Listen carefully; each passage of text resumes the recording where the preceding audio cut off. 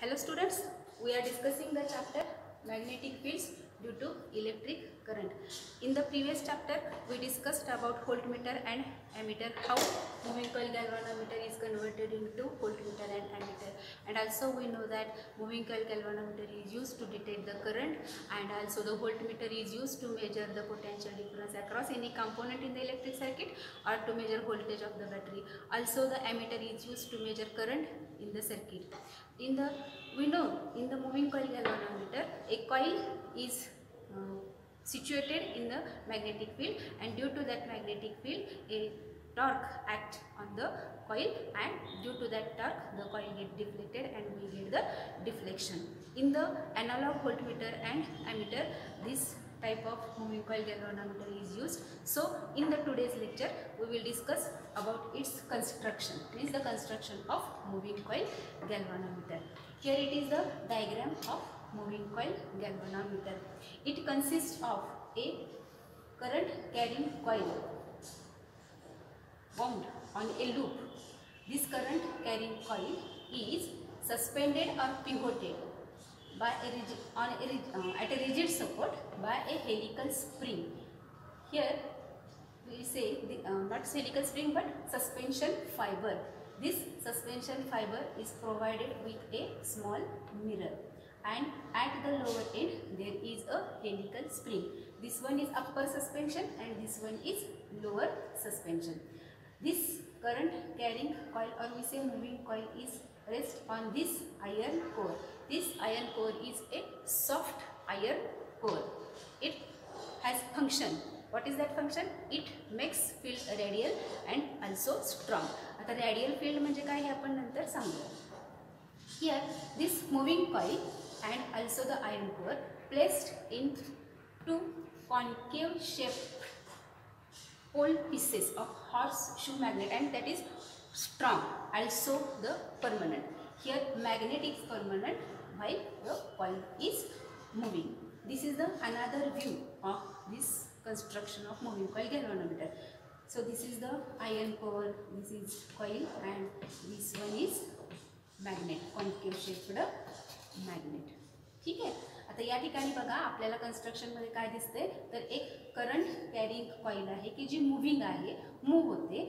And it is suspended or pivoted by a phosphor branch suspension wire at the rigid support या ठिकाणी वायरला इथं एक छोटासा मिरर अटॅच केलेला आहे. आणि this one is upper suspension at the lower end of the coil there is helical spring we say it is the lower suspension आता या ठिकाणी या कॉईलच्या सेंटरला आपल्याला इथे आयर्न कोअर दिसतोय. हा सॉफ्ट आयर्न कोअर आहे आणि हा काय करतो? तर इथं जे मॅग्नेटिक फील्ड प्रोड्यूस होणार आहे ते रॅडियल तयार करतो. शिवाय ते स्ट्रॉंग बनवतो. ठीक आहे? आता current enter the coil in this way through this suspension wire and leaves the coil through this helical spring ठीक आहे? आता या ठिकाणी मॅग्नेट तर परमनंट आहे कॉईल मात्र मुव्हिंग आहे. But due to this magnetic field we know in the current carrying coil, torque will be produce हे तुम्हाला मागच्या लेक्चरला झालेलंच आहे की जर करंट कॅरिंग कॉईल मॅग्नेटिक फील्डमध्ये ठेवली असता तिच्यावरती टॉर्क प्रोड्यूस होतो. आता हा जो टॉर्क आहे तो किती आहे? तर torque is equal to N I A B sine theta आणि this torque is called as deflecting torque because due to this torque the coil get deflected आता हा जो थिटा आहे in this case this theta is equal to ninety degree आता या ठिकाणी बघा हा जो थिटा आहे हा 90 डिग्री होणार आहे. त्यामुळे साईन नाईन्टी वन असं का होणार आहे बघा? तर इथं प्रत्येक वेळेला ही जी कॉईल आहे त्या कॉईलचं प्लेन मॅग्नेटिक फील्डला पॅरलर असणार आहे. म्हणजे आता या ठिकाणी हा जो कॉन्क्यो पोल कॉन्क्यो शेप आहे या ठिकाणी हे जे मॅग्नेटिक फील्ड तयार होणार आहे ते या पद्धतीने तयार होणार आहे बघा असं. हां म्हणजे प्रत्येक वेळेला हे कॉईलचं प्लेन जे आहे ते मॅग्नेटिक फील्डला पॅरलर होणार. त्यामुळे त्याचा जो परपॅन्डिक्युलर आहे मॅग्नेट प्लेनचा परपॅन्डिक्युलर आणि मॅग्नेटिक फील्ड यांच्यातला अँगल हा नाईंटी डिग्री नेहमीच होणार. त्यामुळं या ठिकाणी साईन नाईंटी नेहमीच वन असणार due to radial field the plane of the coil is always parallel to the magnetic field hence this sine theta becomes equal to 1 and this torque is equal to n i a b आता या ठिकाणी हा जो torque कॉईलवरती act होतोय due to that there is another torque is acting on the coil that is called as counter torque which is equal but opposite म्हणजे to balance this deflecting torque this counter torque acts which is also called as restoring turn मग या ठिकाणी helical spring आहे ती twist होते आणि इथं आपल्याला रिस्टोरिंग टॉर्क ॲक्ट होताना दिसतो. आता हा रिस्टोरिंग टॉर्क किंवा काउंटर टॉर्क आहे it is equal but opposite to the deflecting torque आणि आपण मग त्याला असं म्हणूया restoring torque this restoring restoring will will equal to K into phi आता हे फाय काय आहे? Phi is the angular deflection produced in the coil. या ठिकाणी जी कॉइल डिफ्लेक्ट होना है तिचामू एंगुलर डिफ्लेक्शन प्रोड्यूस होना है it is equal to phi and K is equal to torsional constant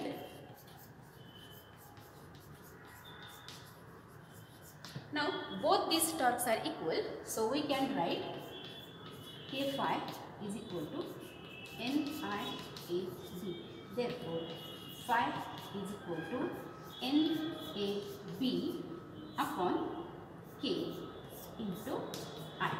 In this case, N means number of turns. बघा या ठिकाणी N means number of turns present in the coil A means area of the coil means length into breadth.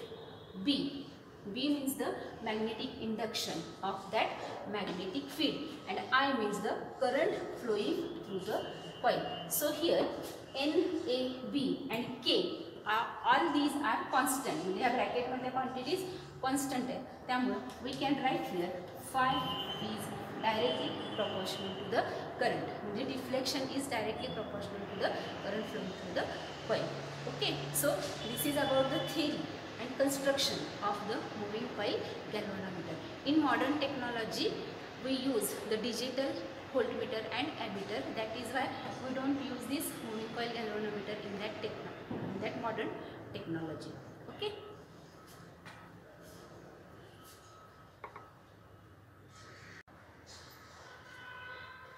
Just now we have seen torque acting on the coil is equal to NIAB. In this case, this product NIA is called as magnetic dipole moment.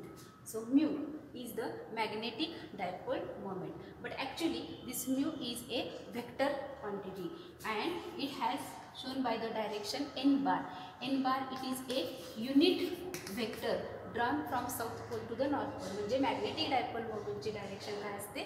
South पोलकडून north pole ठीक आहे? So this is the magnetic dipole moment which is equal to N I A जर ही dipole moment असेल तर हा torque आपण पुन्हा एकदा लिहिला torque is also a vector quantity and this torque is equal to now mu bar cross B bar म्हणजे it is the cross product of magnetic dipole moment and magnetic induction so we can write its magnitude mu B sine theta ठीक आहे if this theta is equal to 90 degree then there will be maximum torque acting on the coil if this theta is equal to 0 degree then there will be zero torque acting on the coil आता या ठिकाणी this is the magnetic dipole moment means the here torque produced due to the magnetic field also in the electrostatics you have studied electric dipole moment so there is also torque acting on the electric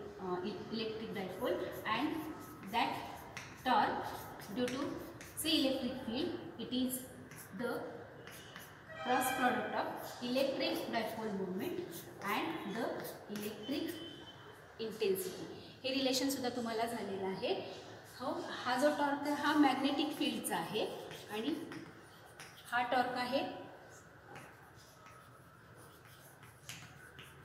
magnetic फील्डचा हा torque आहे electric फील्डचा आपल्या लक्षात येतं आहे here mu is the magnetic dipole moment B is the electric dipole moment B means the magnetic induction and E means the electric intensity. So th- this is the analogy. So you understood about the elect magnetic dipole moment लक्षात घ्या हे magnetic dipole moment आहे.